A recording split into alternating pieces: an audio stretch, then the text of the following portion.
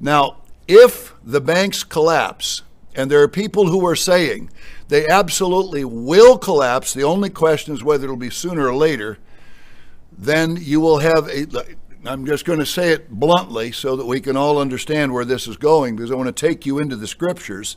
You will see a complete collapse of civilization regarding everything that we are used to.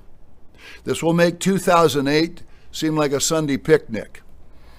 Um, the stock market has lost a huge amount of money in the last four days. Uh, business will collapse. The grid may collapse. Schools, law and order, gangs, aggressors will take off on a world uh, on, on a worldwide scale. Transportation could collapse.